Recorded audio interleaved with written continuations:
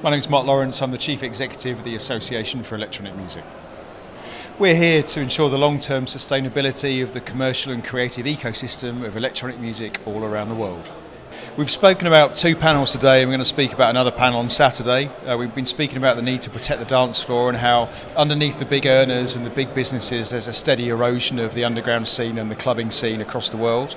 We've also spoken about all the new uh, emerging revenue streams that labels and publishers can take advantage of and how best to approach them. And then on the Saturday, we're talking about Get Played, Get Paid, which is our campaign to make sure that the royalties that clubs pay, or rather the licenses that nightclubs pay, find their ways to the right people.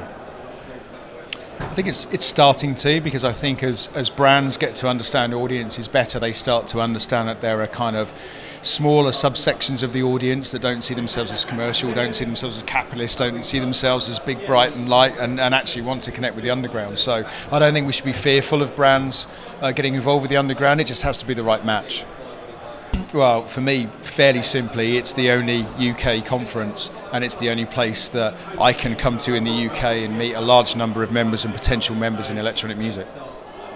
It's 10 minutes from my house, that's quite important. It's the first time I get to go to a conference without getting on a plane. Um, I'm involved to a degree in, in the programming and kind of strategy, which is great.